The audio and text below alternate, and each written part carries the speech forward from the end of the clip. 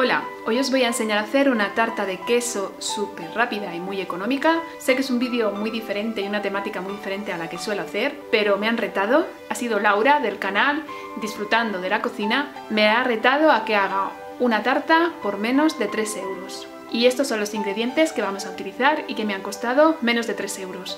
El precio de cada uno de estos productos lo voy a escribir en la cajita de explicaciones del vídeo para que veáis que me ha costado menos de 3 euros. Además lo voy a hacer en el microondas y es muy rápido de hacer. Esta receta la hacía yo cuando tenía 10 años. Los ingredientes que vamos a utilizar para hacer esta tarta de queso son los siguientes. 350 gramos de queso para untar, tipo Filadelfia. 3 yogures naturales. 50 gramos de harina de maíz. 3 huevos medianos. Incluso me ha dado para poder comprarlos de corral. 3 cucharadas de agua y 200 gramos de azúcar. Vamos a empezar preparando el caramelo. Es muy sencillo. Tomaremos 3 cucharadas de agua y 3 de azúcar. Las vamos a poner en un recipiente apto para el microondas.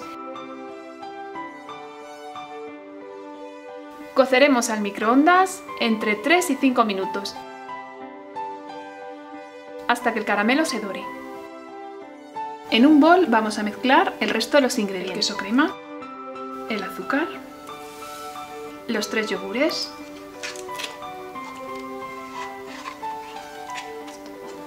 los tres huevos y la harina de maíz.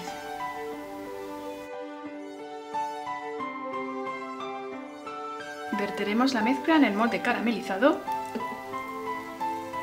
Vamos a introducirlo en el microondas durante 15 minutos al 75% de potencia. Hornearemos durante 15 minutos, pero si aún no está cuajado por el centro, lo pondremos un par de minutos más, hasta que se cuaje totalmente y al pincharlo con un palito o un cuchillo, este salga limpio. Vamos a esperar que enfríe y una vez enfríe lo desmoldaremos. Una vez la tarta enfría, se despega por sí sola de las paredes. Voy a volcarla sobre un expositor de tartas, vuestro plato, fuente. Y aquí la tenemos, tiene una pinta fantástica. Y ahora me toca a mí retar a alguien y voy a retar a Adela del canal El Dulce Paladar. Adela, espero que disfrutes de este reto. Pues esto ha sido todo. Yo también espero que os haya gustado el vídeo, que le deis a me gusta, que suscribáis al canal si aún no lo habéis hecho y gracias por estar ahí y hasta el siguiente vídeo.